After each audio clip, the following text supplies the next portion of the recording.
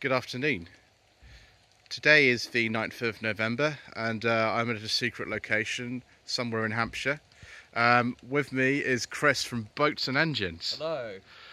Hello, Chris. Um, and uh, you're going to show me around some of your am- amazing collection. I see you're wearing the Alpha Centauri um, boats and Yep. paraphernalia there, which is good.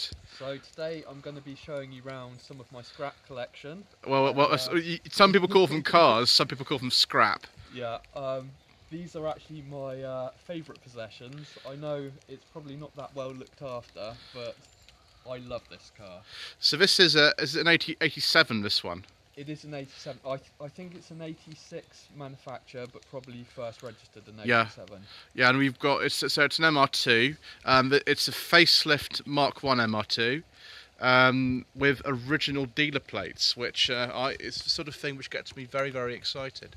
Um, now, Chris, why does it look like this? I mean, you, you did actually on your channel do quite a number of videos of this, didn't you, and, and make it look really nice. Yes. Um, I should explain. If I bought this car today, I wouldn't modify it. I bought this car a long time ago, and this car was two hundred pounds and would have gone to a scrap heap if I hadn't bought it. So I had a Mark II MR2 turbo, which I found to be quite difficult to drive fast. Um, I think they're great cars if you're a great driver, but I'm not a great driver, and the Mark One's much easier to drive fast. So basically, I swapped the mechanicals from the Mark II MR2 into this.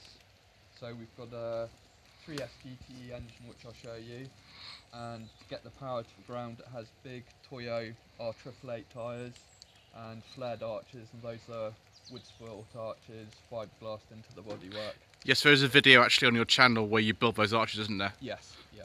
Right, so if we walk down the side of the car? Well, first of all, we can see you have got the original seats for it, uh, but, but there is a story behind you taking out the passenger seat, isn't there? Yeah, so this was used as my wedding car, and Brilliant. my wife's uh, wedding dress was so big that uh, my wife's not big. Her wedding dress was big. No, no, I've, I've seen I've seen your wife in video. She definitely definitely isn't. not Um, big. But her wedding dress would not fit in the car with the seat. right, okay. So uh, let's see what, what other side of it. You can see that the re- reason why this car is in in this condition is not because there's anything wrong with it necessarily, apart from something that's um, a little bit wrong, as we'll get on to Well- later. But uh, um, this is just a years of co- a year of grime, isn't it? Essentially. This is, this is just one year's of grime, and underneath it actually has pretty much perfect paintwork. And I think it's an example that when you watch a barn find video and you see a car looking really bad, it's surprising how quickly they can look like that. Yes, and I know. I mean, uh, when I went up to um, Summit Garage um, in Dudley, they had um, um, a Rover 75 on, on, on, the, on the, back of the forecourt that had been there a couple of months, and my gosh, it, had Yeah. like moss growing on it and stuff like that. I mean, it, the car obviously they cleaned it; it was it was perfect. It's just had been sitting there for a couple of months, and it's amazing what happens, isn't it? Just after a couple of months, you don't move Yeah. a car. Yeah, and but if if it's well polished, it will just clean off. Yeah, yeah. Yeah. So what what are these? Uh, oh, oh, this definitely these this has been a wedding, aren't they? These. So these are the wedding ribbons. Right, it's still a- got them on. in actually in a JDM sunburst pattern. Yes, e- e- exactly. Yeah, um, and as you as you say, you've got these big arches on there. You've got these big, So big tyres and wheels on there. Borbet A alloys, so period alloys, and actually all the modifications on this car are, I, I hate to say it, are probably max power period modifications, are tuning mods. Yes. And so yeah, Borbet Borbet A's with Toyo Triple Eight, they're the closest you can get to a slick and stay road legal. Yeah, I mean, t- I mean, today we definitely wouldn't want to drive a car like this. Maybe you know, we go around the first roundabout, you'd be sideways, wouldn't you? You would. Um, so if you just um, if I if I move back a bit here, um, and we can I can have a look, we'll look at the interior. Just get another shot of this wheel. I think a little bit get a bit more light here. So if we look in, inside here, you can see interior is actually in very very nice condition. Um, this sort of backs up what uh, what Chris is saying about the fact that um, there really isn't anything wrong with this apart from what we'll just get onto in a bit. Yes. Um, and uh, which is the reason why this car's been laid up for you know over a year. Um, so you've got uh, an aftermarket um, stereo unit there and some aftermarket gauges, which I think are going to be removed soon, aren't they? Yes, and I've actually got an original Celica Supra stereo doubled in to go in there, which will be a bit more fitting. This was just built as a car for going around the Nürburgring, Yeah. which is why it's got a sat nav stereo in it. Yes, you need to actually get, find your way around there because it's pretty big, isn't it? It's Nürburgring. big. Well, got to Yeah. find your way there as well. Yes, of course. It's in the forest in the middle of nowhere, isn't it? right. So I'll, I'll pop we uh, open up the open up the bonnet, obviously because it's an MR2 mid-engine, rear wheel rear wheel drive two seater, and we'll see just how wonderful the engine access is on a Mark One MR2, which um, isn't wonderful at all. I mean, look at this. This is uh, out of an SW20 MR2, isn't it? This engine. Yeah, that's right. So it's the same engine also used in the Celica GT4. Yeah. So it's a 2 litre turbo. This actually has a hybrid turbo and lots of other modifications. Um, the best it's made on the dyno is 330 at the wheels. Sorry, you, is it th- th- 330 horsepower in a Mark 1 MR2? At the wheels. However, that was running bigger injectors and an Apexi fuel controller. I had massive trouble getting consistent fuel ratios on the dyno, so I've actually gone back to stock injectors. So in this that, this form, it's probably running about 290 horsepower. That's uh, a lot. I mean, considering the standard engine's about 120, isn't it? Yes. But, it is. it's, a 1.6, isn't it? In these, uh, same sort of thing as an AE86. yeah, yeah, Uh, exactly. it's about 120, about 120, isn't it? Standard. Uh, standard, yeah, 120 on the 4A-GE engine. Um, so this is more than twice that. That's crazy. And actually, on this hybrid turbo setup, um, if I went bigger injectors with a standalone ECU, there's people making close to 400 with this turbo. But Yeah. honestly, 300 horsepower in a car that weighs just under a ton is uh, quite fast. Yes. Well, this isn't the only MR2 you've got, is it? It's not. Um, well, we'll take a we'll take a, just a, a pause for a second here, and we'll go and see what else is lurking round the side of the shed. So, Chris, what exactly is this? I mean, it, the shape of it kind of looks a little bit like a Ferrari, a little bit. a little bit like a Ferrari. So, is it an actual Ferrari 355, or what exactly is it? Um, I'd say it's beautiful. I think some people would say it's a dog. Uh, A dog? It isn't. It isn't like a dog. It looks like a car. well, wait till you see it. You might change your mind. Yes, indeed. Well, it's, it's looking very Ferrari-like so Yeah. far, but I mean, with that glass fibre, it does look a little bit like a boat. So this is. Well, I'm good at boats. This. You you are. I mean, obviously, your channel's called Boats and Engines, so maybe uh, maybe This uh, well well no, it's not. not- It's definitely not a boat now, is it? But uh, Van R2 sticking out now.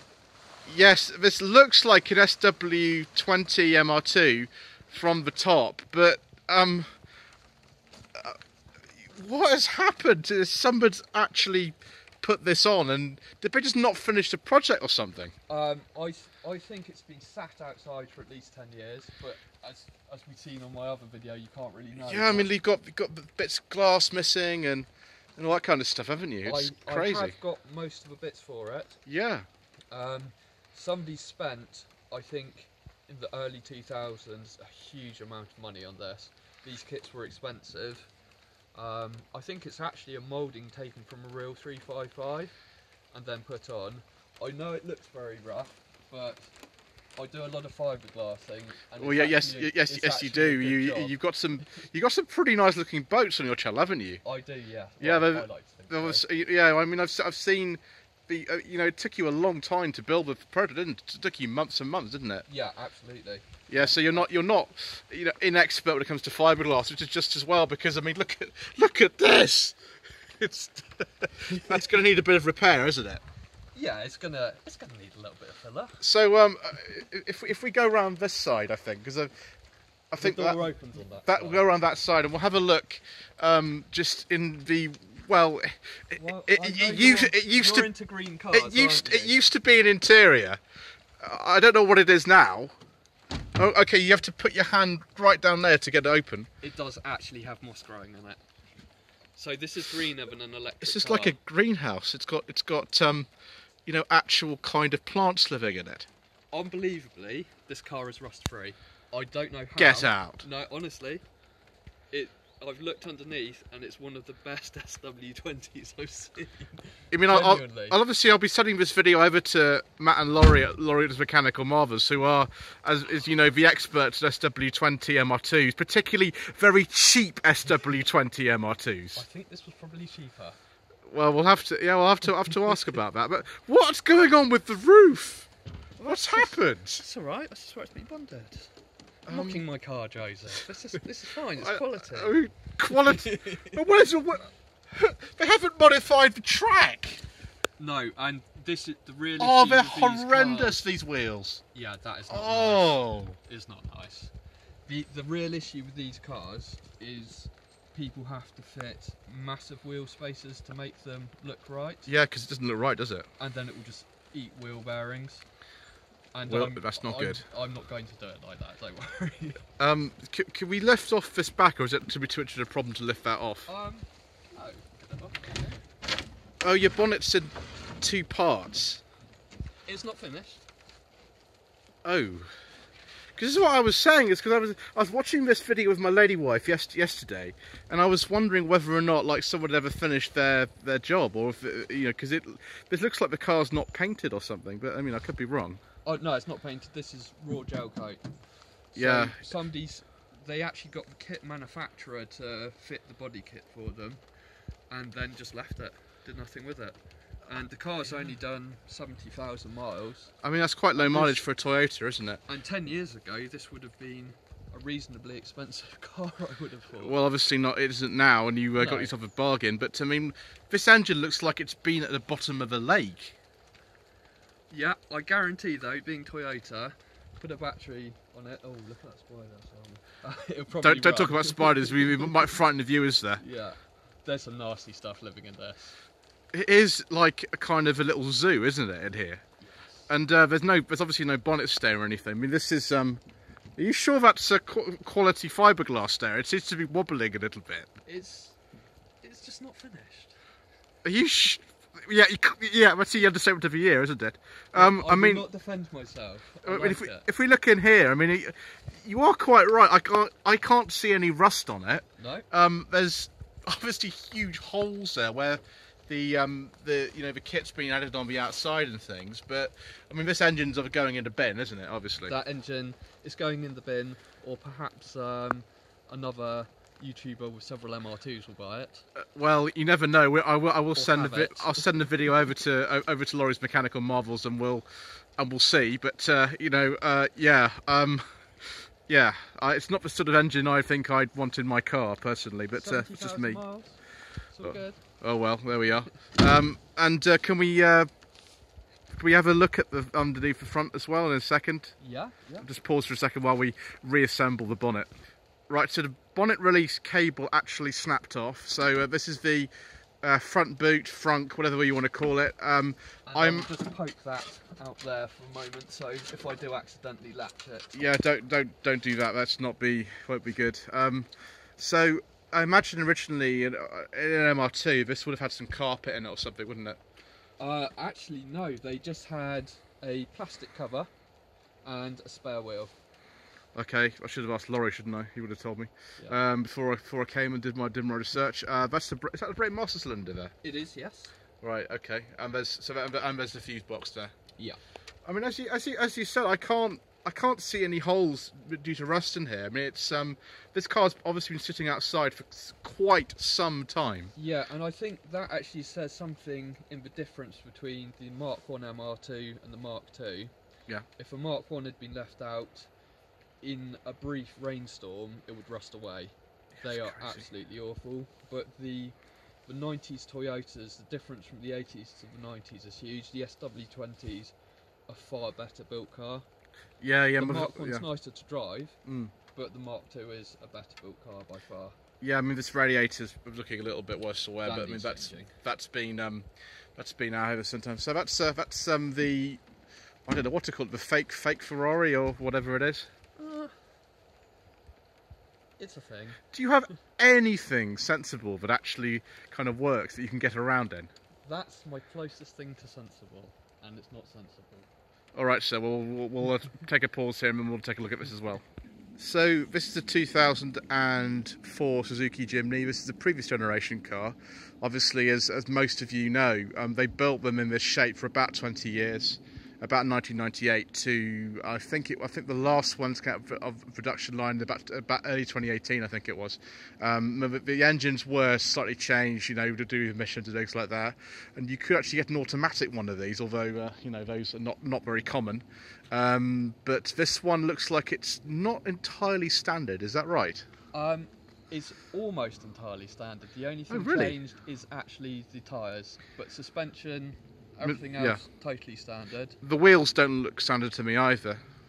The wheels are standard from a 2016 Jimny. Oh, okay. Is that what, is that what they look like on the, on the really late ones? Yes, I've painted them in gunmetal. Oh, okay. They look different. Normally they're silver. I mean, these are these are some pretty serious tyres you've got here. Look at the tread on that. I don't Yeah. think that's going to fail the MOT due to uh, due due to low tread depth, is it? It's not no. No, in, in, indeed. So if we uh, if we take a look uh, take a look inside, um, the paintwork looks quite good actually for a, a bright red car, and it's it's actually it's, it's looking pretty good in here. I actually, when I bought this car, it was actually bright pink. Uh, Oh yes, I know all So- about that. So it's been uh, compound polished, which is why it looks okay now.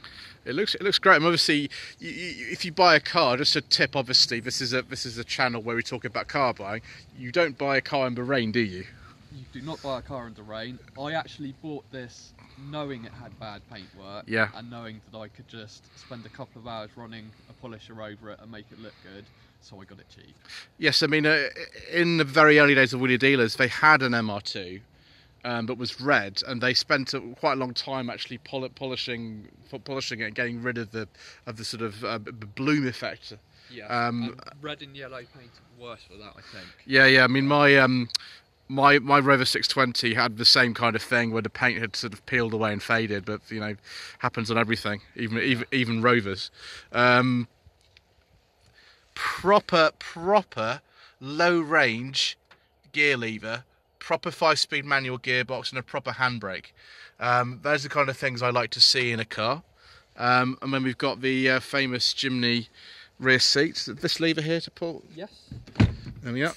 Um, or I think most owners do what you do. They, they they put one of them down so they've actually got boot space because there's I, not I normally not a- don't have any back seats at all.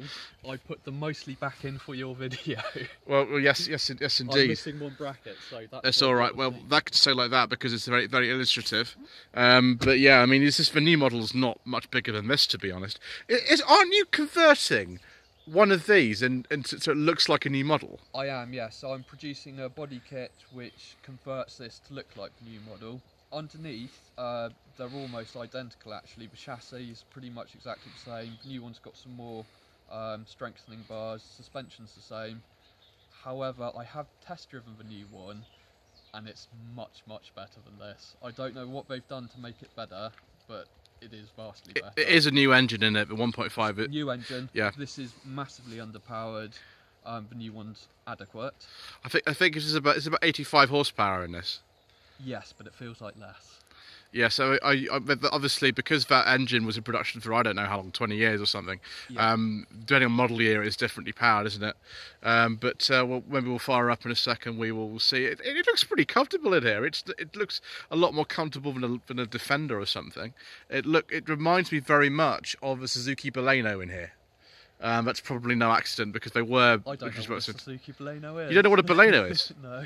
Well, you're not the only one. They they were the car that um, people sort of tend to forget about in the '90s. It was a, it was sort of like a an escort-sized car. They had uh, hatch um, and um, and saloon and estate versions of it. Oh, okay. And they have, a, I think, that steering wheel.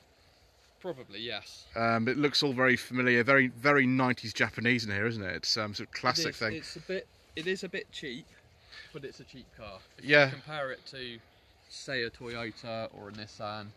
it definitely feels cheap. Yeah, but they were yeah they were cheap, weren't they? I mean, They you were. know, I can't think of anything else on which been in the market in 2004 other than maybe the Fiat Panda 4x4, um, which I'm not sure would have lasted as long as one of these. No, I think the Fiat Panda 4x4 is probably a better road car than this, by far. Oh, yeah. This is better off-road, so they're slightly different market. I mean, you've got a ladder frame chassis in this. You've Yeah. got proper um, low range gearing in here. You've got rear wheel drive. I mean, the, Pan- the Panda's probably front wheel drive most of the time. Yes, yeah. Um, I mean, it's, it's I, wouldn't say it's a bad car, but I think you know if, if living around here and uh, you know driving driving my Lady West MG3 today on these roads, I mean, I'm I wouldn't say it was my favourite thing, um, particularly. It's not designed for you know such sort of rough terrain, but uh, yes, we'll uh, go and have a little uh, um, drive of this in a bit. Um, so we'll land this bit here because um, I've been I've been talking for far too long. Um, but thank you very much indeed to uh, Chris from Boats and Engines No um, for having me down here. Um, don't forget to subscribe to the Boats and Engines YouTube channel. Uh, Write a nice comment about my Ferrari. uh, your fake Ferrari, sir. Um, and uh, yes, we'll, we'll do a separate video on um, on taking this little this little one off road. It's not looking, not looking very muddy. You must have cleaned it for me or something. Um, this is the first time it's been cleaned this year, especially for you. Well, I'm I'm very grateful. Um, so don't forget to subscribe to my channel as well for to see some some, some hardcore Jimny off-roading action. I'm sure it'll be fun. Um, and uh, yes, my Facebook page is facebook.com forward slash Lloyd Vehicle Consulting, and my website is www.lloydvehicleconsulting.co.uk. If you wish me to source a car for you, it doesn't have to be um, one of one of these, of course. I mean, it, uh, you really want one. I'm sure I could find one, but. Uh, That one's for sale? it, uh, it is is it is it already for sale? No. No, no, you can't. Make me an offer. You can't. You can't. You can't sell it now. You, have, you, you won't be able to do your conversion on it. No, I've got big plans. Yes, indeed. right. Anyway, um, thank you ever so much indeed once again for watching.